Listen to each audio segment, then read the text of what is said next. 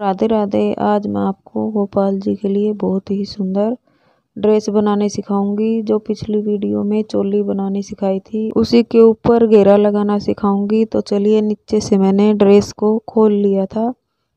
और अब मैं मल्टी कलर की ऊन लगा रही हूँ, सीधी सिलाई बनाऊँगी पहले तो और दस नंबर की सिलाई है और मल्टी कलर की ऊन है। और ये पाँच नंबर गोपाल जी के लिए ड्रेस बना रही हूँ मैं। लीजिए मैंने एक उल्टी और एक सीधी सिलाई। बना ली है मल्टी कलर की ऊन से अब मैं एक फंदा ऐसे ही उतारूँगी, फिर दो फंदे उल्टे बनाऊँगी पट्टी के लिए, चार फंदे सीधे बनाऊँगी, फिर एक फंदा जाली के लिए बढ़ाऊँगी, फिर चार फंदे सीधे बनाऊँगी, फिर एक फंदा जाली के लिए बढ़ाऊँगी। इस तरह मैं ये पूरी सिलाई कंप्लीट कर लेती हूँ, फिर आगे दिखाती हूँ कैसा डिज़ाइन डालूँगी। मैंने इस सिलाई में जाली डालकर कंप्लीट कर लिया और उल्टी सिलाई भी बना ली है। और लीजिए, अब मैं तीसरी सिलाई स्टार्ट करूँगी। अब मैंने एक फंदा बिना बना, उतार कर दो फंदे उल्टे और फिर चार वाइट फिर चार मल्टी कलर के। और मल्टी कलर वाले चार फंदों को तो मैंने सीधा बनाया और वाइट वालों को उल्टा बनाया। लीजिए, ये चार फंदे वाइट से और चार मल्टी कलर से उतार के मैंने डिज़ाइन को कंप्लीट कर लिया और वाइट में उल्टी सिलाई बनाई है और मल्टी कलर में बिल्कुल सिंपल सीधी सिलाई बनाई है। अब मैं इसके ऊपर मल्टी कलर की ऊन से बनाऊँगी और अब मैं आगे सीधा ही सीधा बनाऊँगी और लीजिए ये दो सिलाई कंप्लीट कर ली हैं और मैंने जाली डालनी शुरू कर दी है। चार फंदे बनाए, पाँचवें फंदे पे जाली, फिर चार फंदे सीधे बनाए, फिर पाँचवें फंदे पे जाली। इस तरह करके मैंने ये सिलाई कंप्लीट कर ली है। सिलाई में उतार चुकी हूँ और दो सिलाई उतार चुकी हूँ, एक सीधी, उल्टी, सीधी सिलाई में जाली डालनी है। उल्टे में तो बस उल्टे ही उल्टे फंदे बनाने हैं, कोई जाली नहीं डालनी है। ये मैं दो जाली डाल चुकी हूँ।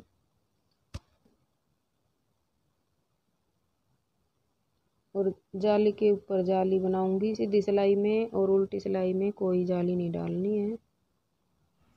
लीजिए मैंने आठ, दस सिलाई को सीधा सीधा बना लिया और जाली डाल ली है। अब ये लास्ट सिलाई है। मैंने दो सिलाई उल्टी बनाई है। डिज़ाइन डालने से पहले और फिर वैसे ही डिज़ाइन डाल लूँगी चार फंदे मल्टी कलर के सीधे बनाऊँगी और चार फंदे वाइट कलर से उल्टे। तो इस तरह करके मैं इस डिज़ाइन को कंप्लीट कर दूँगी। लीजिए, मैंने डिज़ाइन को कंप्लीट कर दिया है। वाइट कलर की दो ही सिलाई उतारी हैं, एक उल्टी और एक सीधी। ज़्यादा बड़ी स्वेटर हो जाती है। अगर चार सिलाई वाइट की उतारती तो तो चलिए अब मैं फंदे बंद कर देती हूँ। फंदों को वैसे ही बंद करना है। दो का एक, दो का एक, ऐसे करके मैं ये पूरी लाइन कंप्लीट कर लेती हूँ। फिर दिखाती हूँ कितनी सुंदर गोपाल जी की ड्रेस बनकर तैयार हुई है।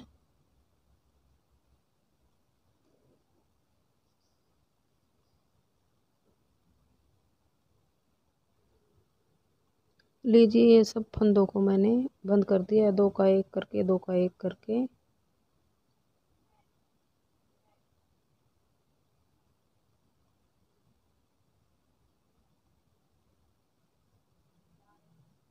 आखिरी में एक फंदा बचा है, एक्स्ट्रा ऊन को कट करके, और इस फंदे में से इस धागे को निकाल दूँगी, और ये गांठ लग जाएगी।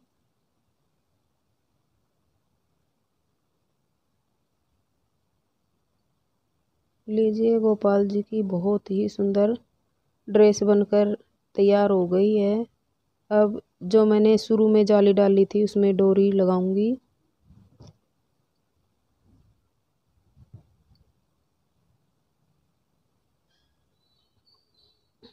डोरी मैं क्रोसी से बना रही हूँ। अगर आपको डोरी नहीं बनानी आती है तो मेरी वीडियो देख सकते हैं। मैं वीडियो डाल चुकी हूँ, डोरी कैसे बनाते हैं, सिंपल तरीके से। लीजिए, डोरी को मैंने कंप्लीट कर लिया। अब आखिरी वाले फंदे पे मैं गांठ लगा दूँगी। उस फंदे में से धागे को निकाल लिया है और एक्स्ट्रा धागे को कट कर दिया था। अब मैं ये ड्रेस में डोरी डाल दूँगी।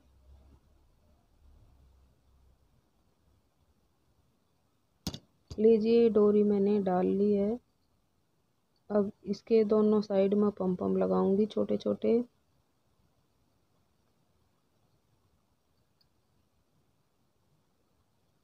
दोनों कलर की ऊन को मैं तीन उंगली पे लपेट लूँगी। आप छोटा बड़ा पम पम अपने हिसाब से लगा सकते हैं।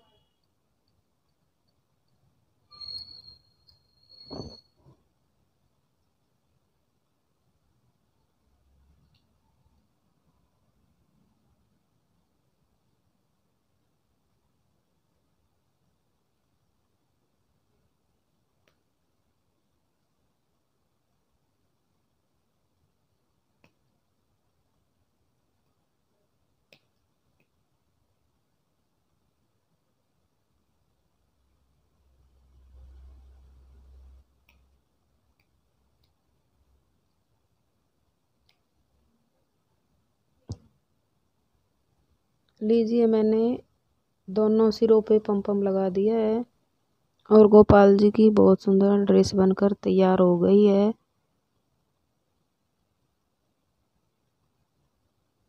लीजिए, मैंने बिल्कुल सिंपल तरीके से आपको गोपाल जी की ड्रेस और चोली दोनों बनानी सिखा दी है। एक बार आप भी ज़रूर बनाएँ अपने गोपाल जी के लिए।